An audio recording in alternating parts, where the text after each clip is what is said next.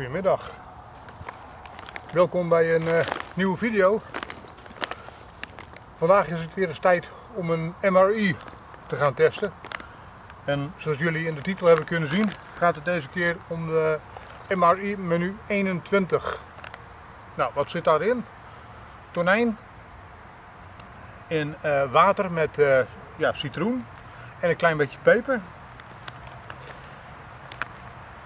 Dus we gaan eens kijken uh, wat dat is, hoeveel calorieën dat heeft, wat de smaak ervan is en of ik het de moeite waard vind. Het is niet objectief, dat weet ik. Dat zijn reviews nooit. Maar het geeft je wel een idee van, oké, wat zit erin? Waar kunnen we het voor gebruiken? En hoe lang gaat het mee als we op stap zijn in het veld? Nou, ik heb het uh, menu alvast even uitgepakt en een beetje uitgestald, zodat jullie een idee hebben van de inhoud. Nou, het is een uh, tonijnmenu, dus uh, er zit uiteraard tonijn in. En jullie zijn van mij gewend dat ik ook altijd het aantal calorieën noem wat erin uh, in zit in de verschillende ingrediënten. dat vind ik belangrijk, omdat je ja, gemiddeld als man tussen de 2000 en 2500 kilo calorieën per dag gebruikt. Bij een normale actie, een militair gebruikt veel meer. Ik geloof zelfs dat ze, ja, als ze een beetje aan het oefenen zijn, uh, zo'n 5000, 6000 calorieën wel uh, verbranden. Dat doen wij natuurlijk niet, als we gewoon lekker relaxed in het bos zitten.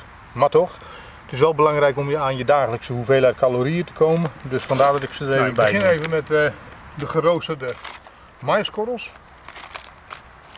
Geen idee hoe het smaakt, maar het leek me een van de minst aantrekkelijke dingen die erin zit. Dus dan gaan we die maar als eerste pakken.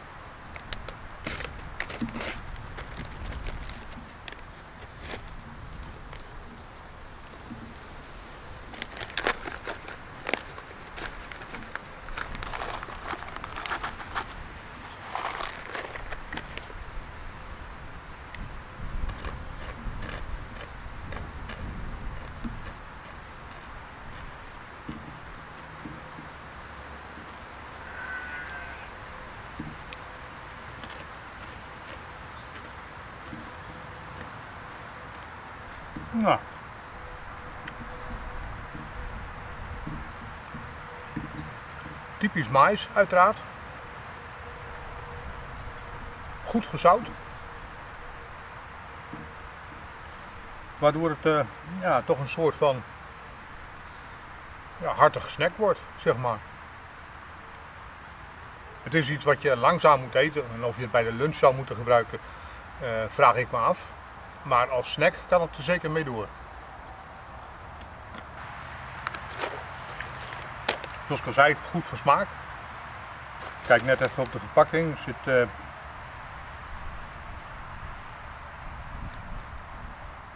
en we kijken 19% zout in. Dus dat is best wel vrij veel. Maar goed, het is een snack, dus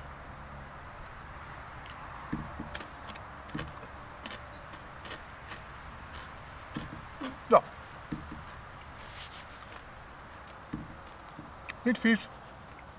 Als snack gebruiken. Als je niet echt veel honger hebt, zou ik zeggen bewaar het eh, voor s avonds bij een biertje. Goed te doen.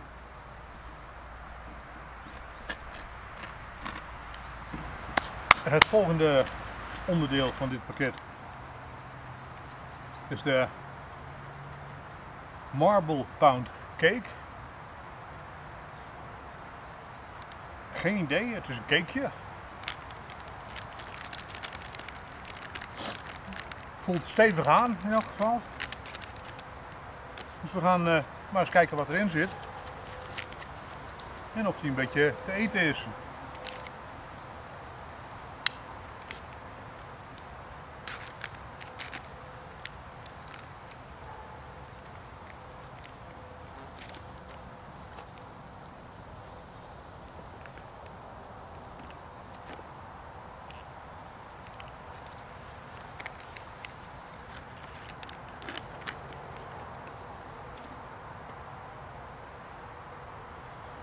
Hij voelt een beetje plakkerig aan. Hij ziet er een beetje plakkerig uit. Maar wel goed van textuur zo te zien op het eerste gezicht. Eens kijken wat de textuur van dat cakeje is.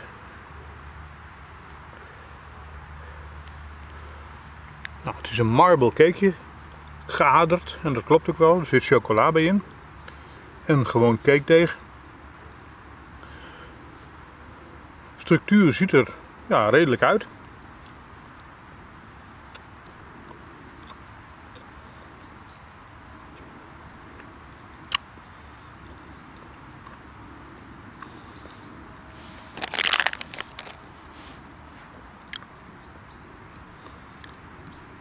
Smaak is wat je ervan zou verwachten.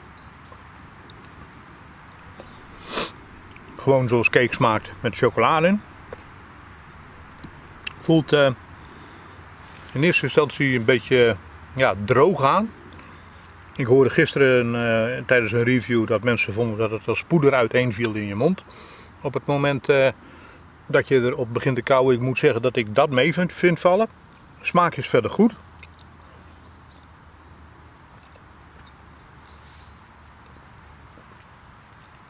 Nou, goed te doen. Goed onderdeeltje voor dit pakket. Nou, na het eten uh, van de cake en de mais heb ik zoiets van, ik uh, lust wel uh, een beetje drinken. Dus ik ga mij wagen aan de lemon lime flavored fruit juice.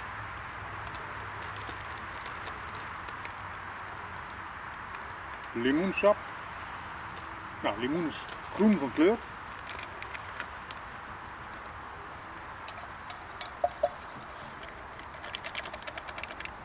Volgens de review gisteren die ik bekeken heb,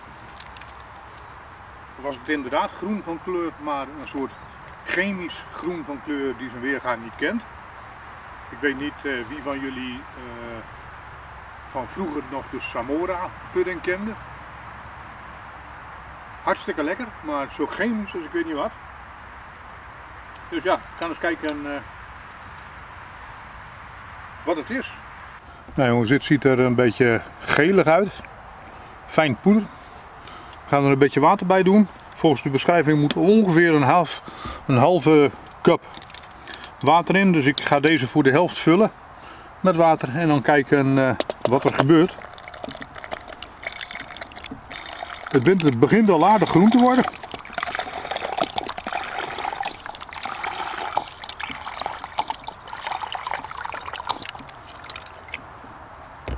En er werd uh, tijdens de review ook al gezegd dat het erg moeilijk oplost in, uh, in water. Ja, ik weet niet of jullie het goed kunnen zien, maar het meeste van de poeder ligt allemaal op de bodem. En het is inderdaad een soort neongroene kleur die er nu uh, in verschijnt. Dus we gaan maar eens even goed roeren. Kijken of ik dat een beetje kan oplossen. Maar waarom sta ik dat eigenlijk met een mes te doen? Want we hebben in ons pakketje immers ook een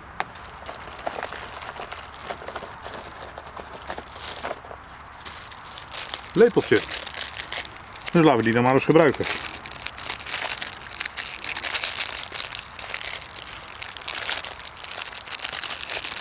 Maar dan heb ik wel een mes nodig om hem open te snijden. Dat dan weer wel. Goed. Operatie lepel, gelukt.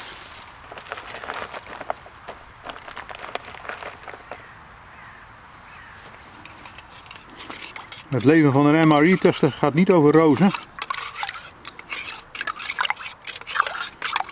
Ik moet goed roeren inderdaad. Voordat het oplost. Om jullie een idee te geven. Zo ziet het eruit en ik heb toch al behoorlijk geroerd. Ja. Even scherp. Ja, zo. Dus uh, nou, ik moet zeggen na een uh, minuutje of twee roeren is het wel uh, oké. Hoe zeggen ze het ook alweer zo mooi? Alles voor de wetenschap. Neongroen, de darmpjes in.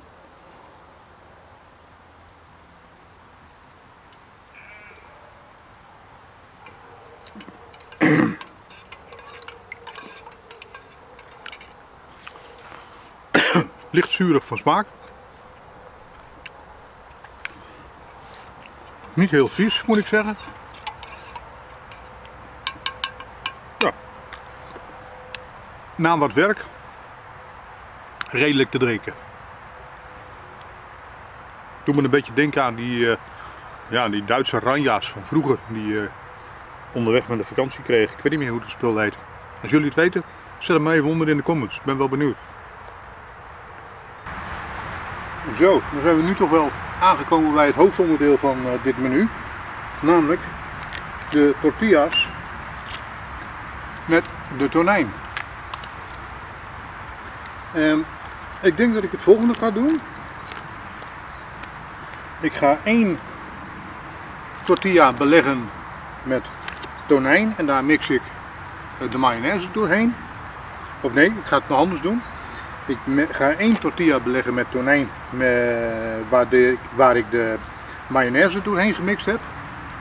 En de andere tortilla die ga ik met de rest van de tonijn eten. En daar smeer ik de cheese spread verder over uit. Ik zag ze dat gisteren bij een review doen. Typisch Amerikaans, want overal moet kaas op. Ja, en omdat het natuurlijk uh, toch wel een uh, ja, Amerikaanse MRE is, ga ik hem uh, ook maar gewoon op die manier testen. En kijken wat ik ervan vind. Nou, dan eerst de tortillas eens even opensnijden. Kijken hoe die eruit zien.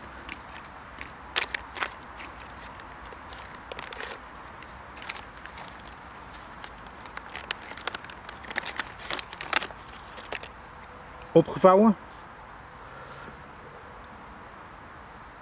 Ik begreep gisteren dat dat niet ideaal is, omdat ze daardoor erg breekbaar gaan worden. En ja, dat klopt ook wel, moet ik eerlijk zeggen. Als je dit ziet, Even kijken of ik dat goed in beeld breng. Ja. Dit is een rechtstreeks gevolg van het opgevouwd zitten in de verpakking. Deze is niet helemaal doorgescheurd, maar ik zag gisteren een aantal tortillas die als gevolg van het dubbel opgevouwen in de verpakking zitten, echt helemaal waren doorgescheurd. Ja, en dat is wel vervelend natuurlijk.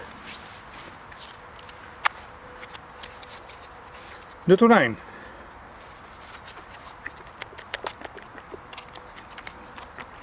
Zit goed vacuüm verpakt.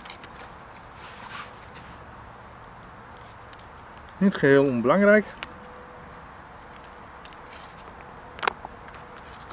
Goed gevuld ook moet ik zeggen. Het zit echt tot aan de rand toe uh, gevuld met tonijn. Ruikt als tonijn met citroen.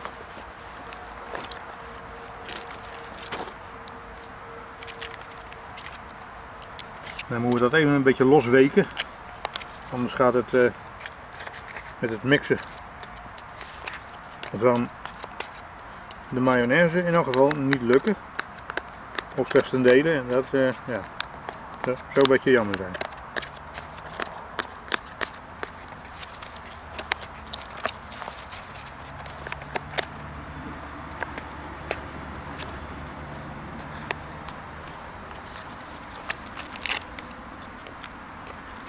De mayonaise gaat erdoor.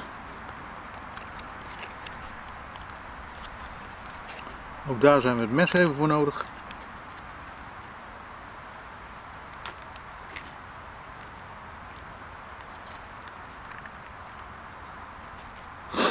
Ja, ruikt naar mayonaise, is witter dan de onze.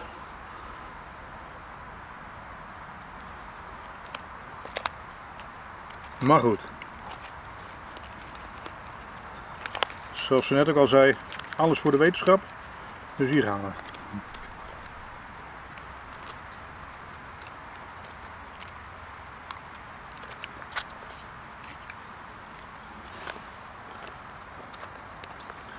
Heel anders van smaak die mayonaise dan, uh, dan onze. Tenminste, dat vind ik. Veel vlakker van smaak, maar ook wat zuurder. Even op zoek naar de lepel. Als jullie het afvragen, die had ik al schoongemaakt uh, naar aanleiding van mijn uh, limonade avontuur.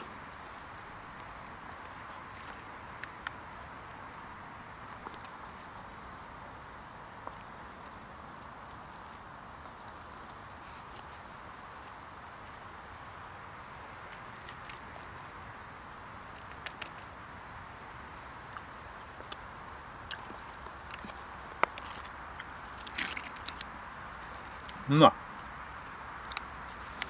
Een tortilla met tonijn. Het broodje is een beetje droog. dat heeft natuurlijk ook al maanden in die verpakking gezeten waarschijnlijk. Dus zo uh, verwonderlijk is dat niet. Die jullie net een sleur, sleur zien. Als gevolg van het opgevouwen uh, in de verpakking zitten. Dit is wat er gebeurt. Ik hoop dat jullie het zo goed in beeld hebben. Je ziet het, hij is helemaal open gescheurd over de hele lengte. Dus je moet het voorzichtig eten, anders wordt het één grote smeerboel. Voor de rest goed te doen. Ik ga hem voorzichtig opeten. Zal ik zo meteen die andere even klaarmaken. Oké. De kaaspret. Eens kijken hoe dat bevalt. Oh ja, ik moet nog even melden dat eh, de verpakking staat dat het tonijn is met lemon uh, pepper. Uh, in eerste instantie proefde ik geen peper. Maar uh, ik moet zeggen, nu ik hem op heb, blijft die nasmaak van die peper wel een beetje op je tong hangen. Dus hij is er wel, maar het zit meer in het naspel, zeg maar.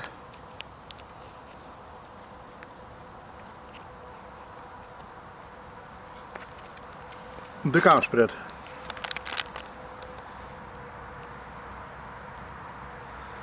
Ook hiervoor geldt, gaan kijken wat het wordt.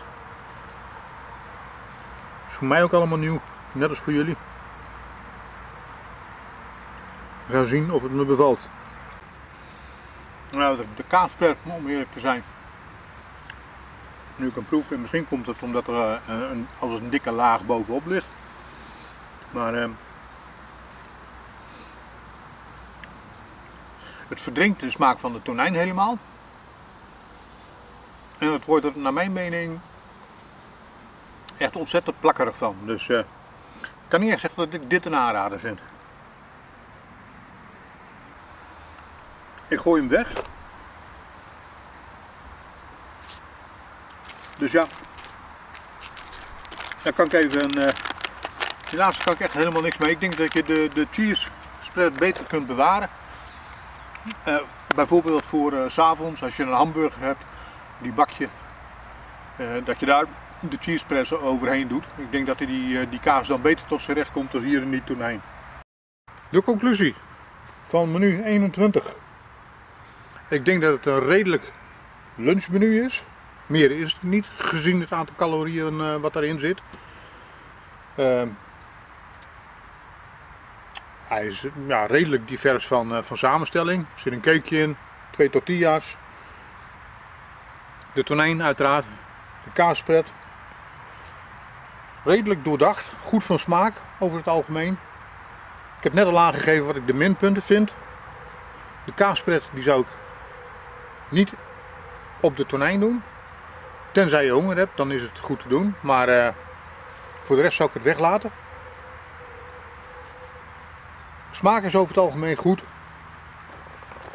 Niet overdreven. Smaak van de mayonaise vond ik wat, uh, wat, uh, wat, uh, ja, wat vlak. En dat klopt ook wel, want op de verpakking stond dat het vetarm was. Nou ja, dan wordt het al heel gauw ook minder smaakvol. ander ding is de, de prijs. Ik heb hem voorbij zien komen van variërend van 15 tot ongeveer 20 euro. Ehm, als je dan zegt prijs-kwaliteit verhouding, dan zeg ik, hij is mij te duur. Ik zou hem persoonlijk niet kopen. Uh, omdat de ingrediënten die erin zitten, ja, gewoon eigenlijk heel goedkoop zijn. Ik denk dat dit echt een pakket is waar veel winst op wordt gemaakt. Uh, dus als ik zou kijken naar uh, het uitgavenpatroon wat je hebt, en zeker als je niet al te veel uit te geven hebt, zou ik deze niet kopen. Dan zou ik liever voor een van de andere menus gaan. Ik heb nog een aantal die moeten nog gereviewd worden, dus hou dat in de gaten zou ik zeggen. Al met al een redelijk menu voor een te hoge prijs. Dat is mijn bevinding. Als jullie hem hebben geproefd en jullie zijn een andere mening toegedaan, zet het alsjeblieft in de comments. Uh, mijn mening is er maar één. Maar ik hoop dat jullie, en zeker voor degenen die hem nog niet geproefd hebben, een beetje een redelijk beeld hebben gekregen van deze MRI. Ja, en dan gaan we met een volle buik weer uh, richting huis. Ik zou zeggen, uh, bedankt voor het kijken. Tot de volgende. En wie weet wat we dan weer gaan reviewen. Hoi!